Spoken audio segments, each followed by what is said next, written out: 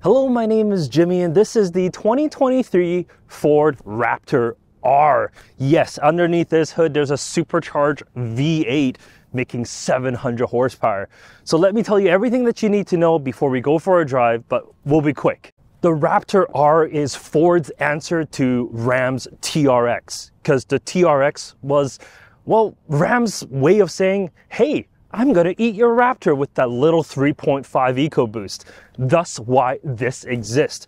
On the front end, well, it doesn't look too far away from the standard Raptor. Yes, you do get an additional hood bulge on the top. Yes, there are some graphics on the hood and you get a little R on the front grille, but it's very, very similar. And there's nothing wrong with that. You got beautiful Raptor headlamps as well as these rigid fog lamps on the bottom. On the side, all Raptor R's comes with 37 inch tire options. So you get big 18 inch wheels with bead locks and of course the 37 inch KO2s. Behind all that, you do get the Fox suspension with the electronically continuously variable compression dampening that's on the shock itself. The front fender, you do have a real hood extraction vent here. That's kind of cool get some running boards on the side just to make ingress a little bit easier. You do get proximity door locks on the front, but sadly not on the rear.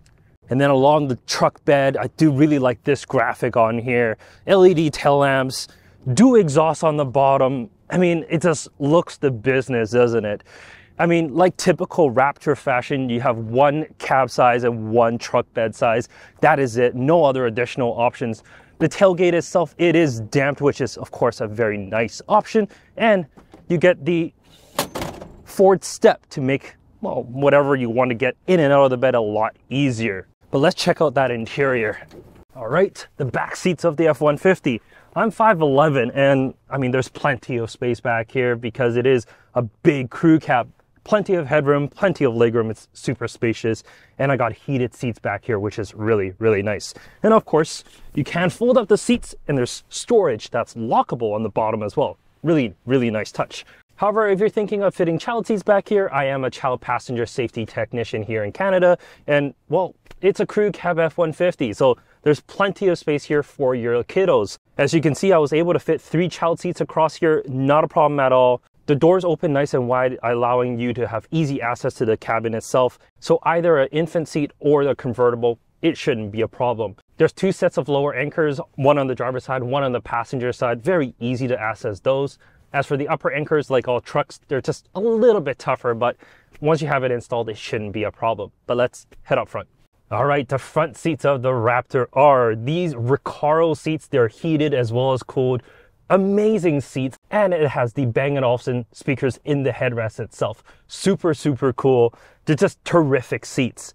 In front of me, I got my typical Raptor steering wheel. So you do get the orange stripe in the center just to let you know exactly which way is well, straight, and you get all the buttons that you need along with the Raptor button on the left, as well as the suspension and exhaust buttons here on the right, allowing quick and easy access to well, all the parameters that you really need without diving into drive modes, which you still can. Behind you get a full digital cluster, beautiful cluster. It shows you a lot of information and it is configurable as well. No heads up display, but that's okay.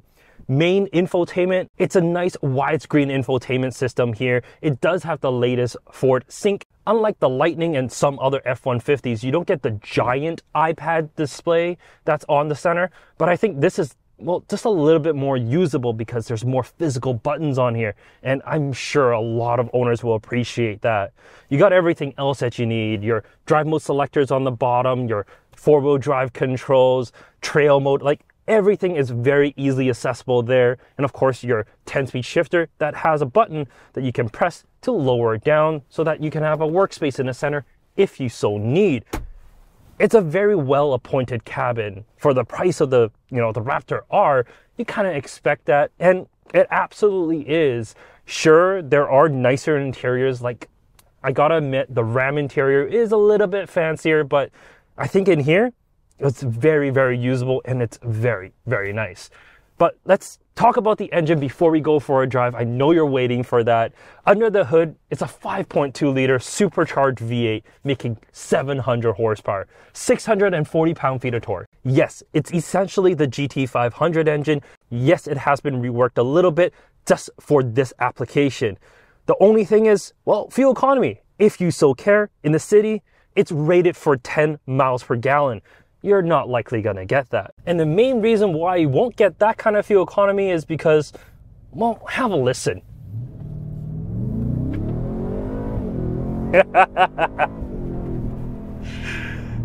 yeah, when you have a supercharged V8, fuel economy kind of goes out the window because all you want to do is listen to that engine note. And it's such a glorious engine note, isn't it?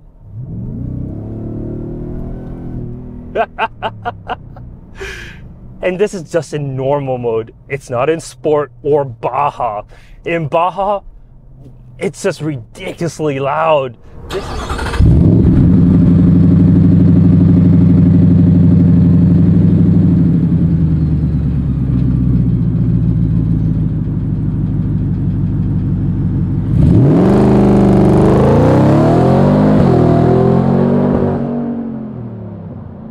It is absolutely insane. I love this truck because of that. Because there's really no reason why this truck exists, at least here in Vancouver. I mean, Vancouver is a relatively small city. There's not a lot of like off road trails around. There are some like really nice stuff that's about an hour or two away, but you do have to travel a little bit outside of the city to do that. But in the city, it's not, well, it's not the greatest truck city, and having a Raptor, it's just kind of ridiculous. It's wide. It's so wide. Parking this in a just a normal parking spot and you can barely get out of the vehicle because of well just how wide the vehicle is. It's so insane. But I absolutely love it. In terms of how it drives though, I mean the dampers they're so so good. They're so comfortable, they're so compliant, they're so soft. You can stiffen things up with the button here on the steering wheel to move it to sport, and it does make it a little bit firmer if you want it to. But it's not about that, is it? It's just about the power. It's about putting that foot down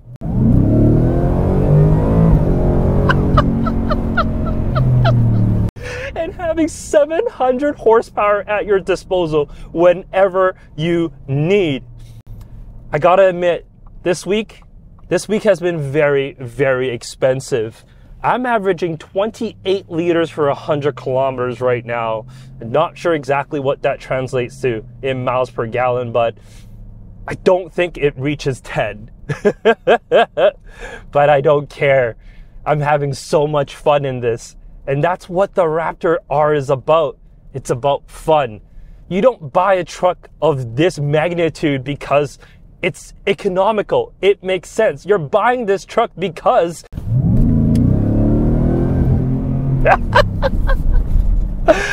oh, I don't want to give this back. I don't. I mean, this this this is absolutely insane. Yes, let's be honest. For most people, if you really want a Raptor, the regular one is it's good enough because the regular one it's much more economical on everyday drives. You don't really have to worry as much as this. But there's no replacement for a V8 then you slap a supercharger on it.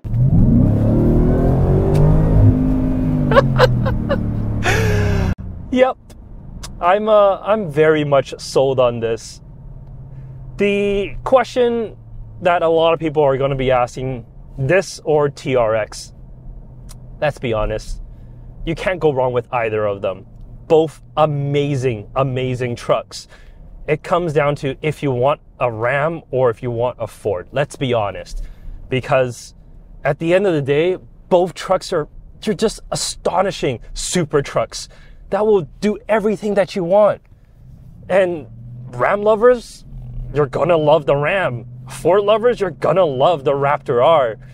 There's no fault with either of them. Let's be honest. But that's really it. I'm gonna close this off. Oh, pricing. I should have mentioned that somewhere down the line here. About 150,000 Canadian dollars. It's uh it's not cheap. But I mean, for 700 horsepower, It's a lot cheaper than like a Lamborghini Aventador that also makes 700 horsepower. So there's that. In any case, thank you so much for watching. Have a great day and enjoy some more sounds from this amazing V8.